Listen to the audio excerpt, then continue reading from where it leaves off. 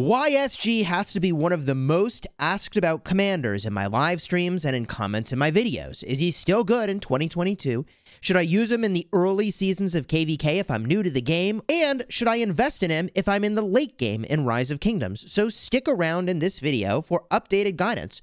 Everything you need to know about Yi-Song, the talents, the pairings, and if you should put sculptures into this commander.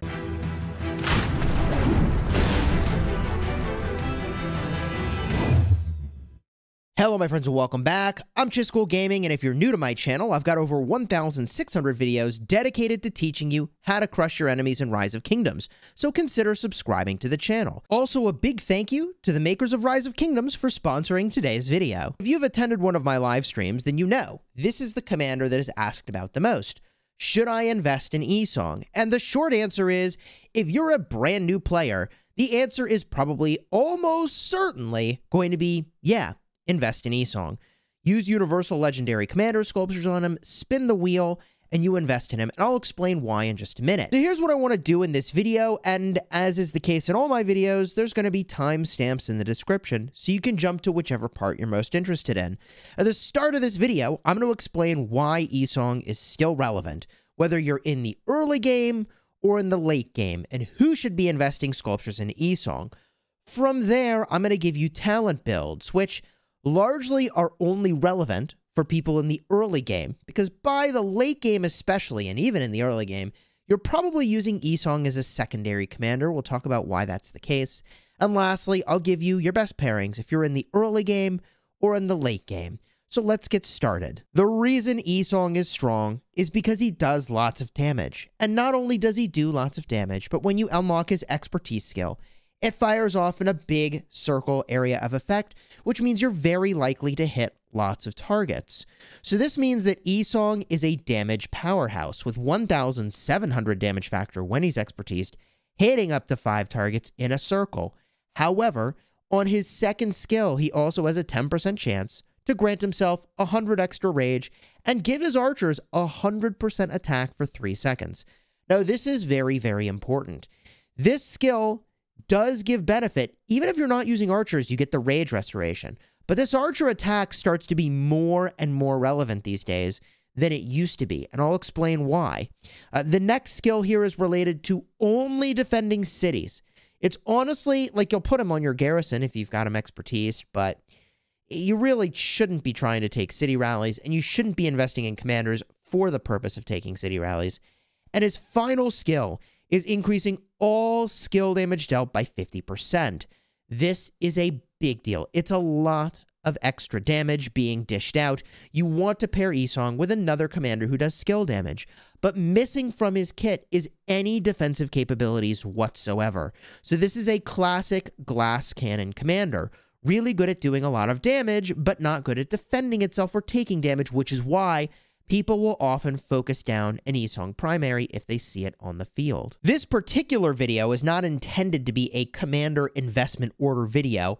However, I'll remind you I have one of those later, and a card will be up at the top if you want to go check that out at the end of this one.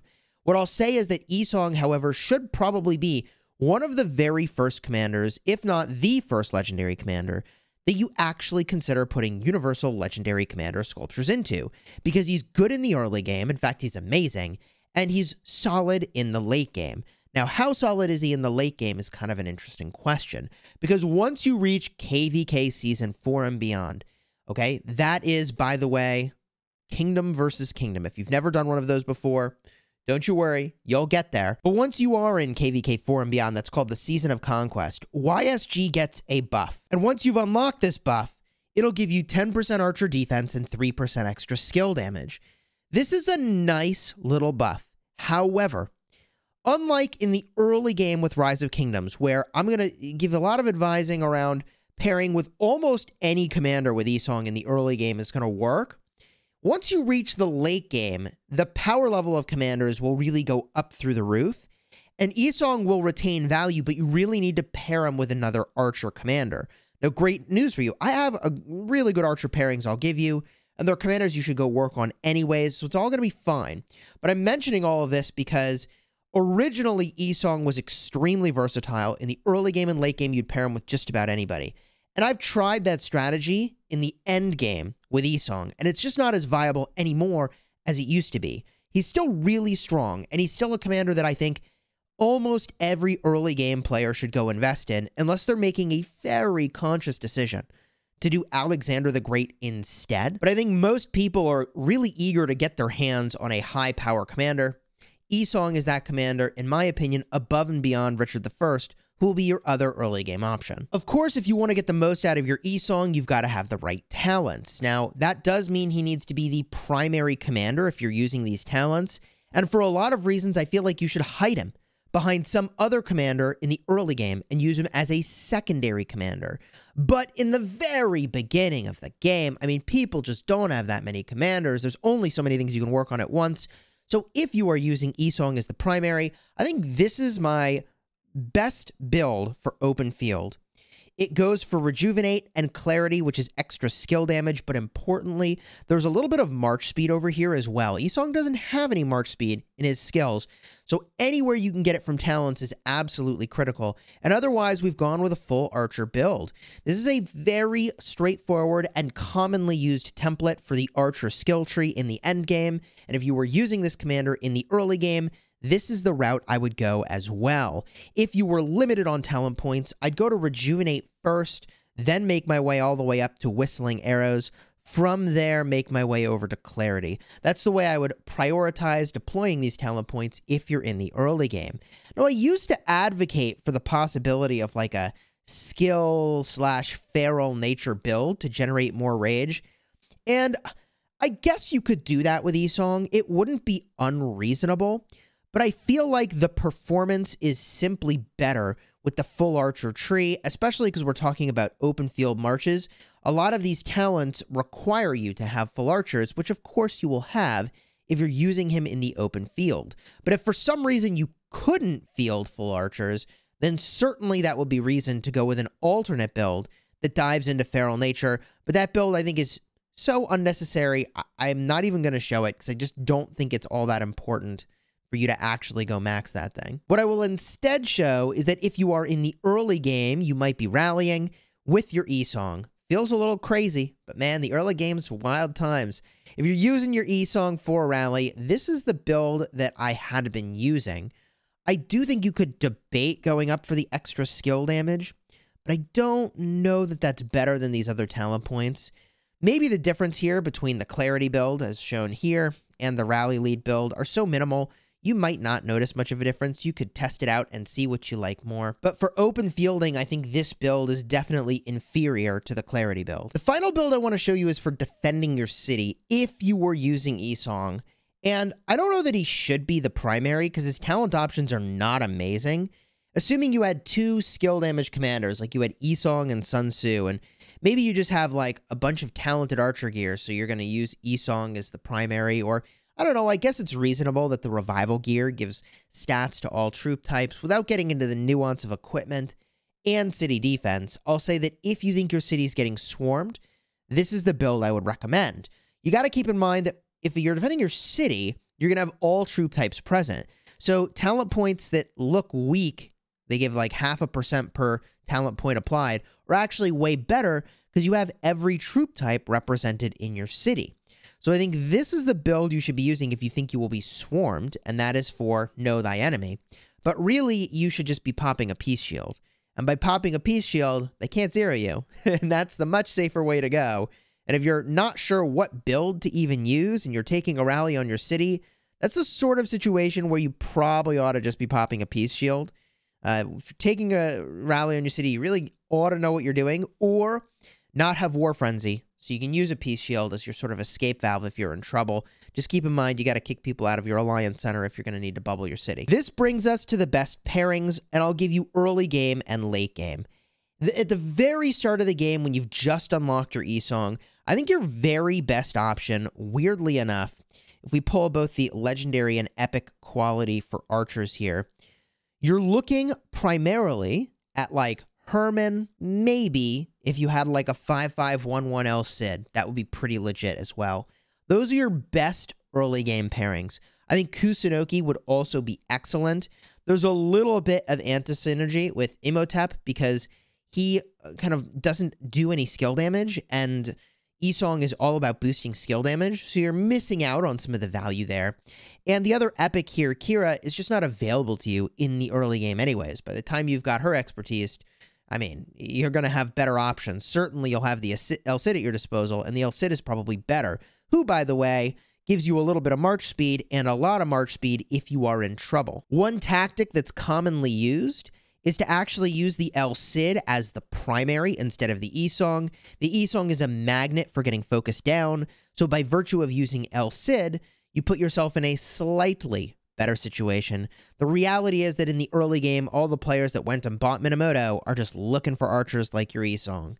So you're even if you use El Cid as the primary, you're gonna probably get focused. And the big reason I'm advocating for Hermann as a great epic combo, the best epic combo, in the early game with Yi-Song is because he gives you some march speed. You so desperately need this for open field. You may not realize just how much you need this yet, but you will, and it's strong, and his damage factor is great. And he's got some ways to generate rage too, so you can kind of pop off with the Yi-Song rage generation and the Hermann rage generation working in concert. However, once you start to get to like KVK season 2 and beyond, there's a couple other pairings that I can recommend to you, and weirdly enough, the, we're not looking anymore at Archer commanders. We're really talking about using Yi-Song as a secondary. So the best combo you can use, I think, in KVK Season 2 is actually going to be an infantry commander, and I'm struggling to find him, so we'll just do it this way. It's Alexander the Great Primary, weirdly enough. The Alexander the Great primary Yi-Song secondary I have used extensively, and it's super powerful. You're going to use full infantry, and this is why I was saying earlier that it's weird how Yi-Song works with almost any troop type in the early game, but in the late game, that's not going to fly. It won't work. It's just not good enough anymore. So early game combos that you'll often see is like Alexander the Great and Yi-Song. You'll see uh, pairings like Saladin with Yi-Song. And those are solid. You'll even see Richard I and Charles Martel, really tanky infantry commanders, hiding the Yi-Song, and those are all viable. But I think my number one for you is still going to be Alex Yi-Song. Alex does have skill damage, and even though it's on a passive skill, Yi-Song fourth skill boosts all skill damage, regardless of whether or not it's active or passive. So the two end up working really, really well, and the 30% march speed on Alexander the Great actually is super fast as far as infantry go, and compared to other people in the early game, you'll be moving pretty quickly. And although technically, Edward of Woodstock is actually a fine commander to pair with, I wouldn't recommend that you invest in Edward of Woodstock. He is one of the first commanders that I benched, and every time I took him off the bench, I regretted doing so. Edward of Woodstock is just not great in the open field, even though he might really kind of dominate the rally scene in the early game. Uh, you'll find that he loses a ton of viability once you get to KVK season four and beyond. And he's just not a good investment for the amount of time that you're going to use him. So I think that Edward of Woodstock with Yi-Song is a great early game pair if you have them. But if you don't already have them, basically if you migrated, right? So if you don't already have them, don't invest in Edward of Woodstock to pair with Yi-Song. I think you will be really disappointed. This, of course, brings us to KVK Season 4 and beyond. And once you get to that point, you are looking to pair with legendary commanders almost exclusively. And Yi-Song El Cid is not going to cut it. There are really two pairings that I think are super strong for your Yi-Song in KVK Season 4 and beyond. And although he is extremely versatile, and you can pair him with any other archer. Your very best pairings at this moment in time are going to be Boudica Prime with Yi-Song Secondary or Nebuchadnezzar with Yi-Song Secondary. Nebu's all the way up here. And there is a third really solid option, and that is Ramses with Yi-Song. Now, with that said, Ramses used to be a go-to open field investment for people looking to get another commander to pair with Yi-Song. And the weirdness here is that a part of what makes Ramses so strong is his defense reduction. But now there are many other commanders that also do defense reductions. And if you didn't know this, active skills on commanders do not stack. So if you have the exact same debuff, they aren't going to stack with each other. Different debuffs will all stack. So for example, Ramses does a defense reduction. Well, one of the best commanders in the Season of Conquest, KVK Season uh, 4 and beyond, is going to be this commander right over here, Alexander Nevsky, who does a defense reduction. And that defense reduction might even be more powerful than the one that Ramses did. So I mention this because you're losing a little bit of utility these days on the Ramses. He's not a bad commander to pair with Yi-Song. In fact, they're going to work pretty well together. But when we talk about the best combos you can make, they are all archers. And I think those two very best combos, number one, with Yi-Song, is going to be Boudica Yi-Song. And then I think your number two is going to be Nebu with Yi-Song. I think that there are other things that work fine, like Cyrus Yi-Song, I find to be really squishy, but it's probably fine. People will claim that Artemisia with Yi-Song works. I, I haven't really experienced that myself, but I also haven't run around with that combo a whole heck of a lot. And in fact, weirdly enough, I bet you you could get away with some really weird stuff if you went with, oh my gosh, Yi-Song primary and then use Honda Tadakatsu's secondary. I bet you that could work, weirdly enough and I think it would do okay. But I don't think it's great. And I don't think you want to be in that spot. And even Mehmed is a commander that is sort of advocated as like weaker Honda. I'll say Mehmed is pretty decent. But the problem is that neither Yi-Song nor Mehmed have march speed. So you pair them together and they're just really like a vulnerable glass cannon. Sure, they'll do a lot of damage right up until they get focused and then they get destroyed. And you can get away from literally no combat. So I don't think I can recommend that as a pairing, even though it's a cool idea. There is one early game pairing that I almost forgot about, and I definitely should have mentioned this, and that is simply going to be Aethelflaed with Yi-Song. This pairing is shockingly good in Canyon, and it lasts for just a very, very long time. I think it's because the support tree on Aethelflaed, reducing skill damage taken very substantially, goes a very long way. And it is worth mentioning that Yi-Song is still one of the top dogs in Canyon. He isn't, I would say, the best commander in Canyon. I think these days we have to give that to Constantine, weirdly enough. But he is still one of the very best commanders because his circle AoE in that game mode is just super, super powerful. But I'll just remind you that that game mode should never influence your commander and equipment investment decisions. Not at all, man. That game mode does not matter enough to influence your choices for commander investments. My God. So to summarize, in the early game, Yi-Song is so strong, you can really pair him with almost any commander and do fine, even commanders that are not also typed Archer. However, once you get to KVK Season 4 and beyond, you do need to pair Yi-Song with another Archer, and ideally, that, that pairing is going to have March speed, it is going to have some form of tankiness, either defense, health, or damage taken or skill damage taken or normal attack damage taken reduction because otherwise he's just too vulnerable. And I found that I preferred using my Nebu with Honda over using Yi-Song and Nebu together. I removed Yi-Song from my lineup is what I'm trying to say because he's missing March speed and he has no defensive stats. And in the late game, especially, I feel like I get focused a non-trivial amount as a content creator. Maybe I'm just making that up. But either way, the reports are bad once you do get focused. And if you're not using something that's got a little more tankiness, I know Yi-Song with his museum buff has 10% defense, but it's it's just not enough. These days, commanders hit really, really hard. So you can invest in Yi-Song and you'll use him for a very long time. And he is very versatile. And you'll be tempted in the late game to try things like Nevsky with Yi-Song. I did it. It was fine. But I wouldn't say it was so much better than just using an, a dedicated cavalry commander instead, like Double C, or if I'd had Minamoto, like those I think would have been fine choices. I did that on my restart account. If you're looking for another video, just reviewing all the commanders in the game and which ones are better or worse, I'll a card momentarily right over here to give you my legendary tier list with every single legendary commander ranked in the game where I go about each of their roles in depth. Also, if you're looking for my commander investment order guide explaining should I invest in Yi-Song now or some other commander? And what should the game plan be for my account? That card will be right up over here in a moment. Subscribe to the channel if you haven't already to make sure you get more videos dedicated to helping you smash your enemies in Rise of Kingdoms. Throw a like on the video to support the channel, and until next time, you have fun smashing the kingdom.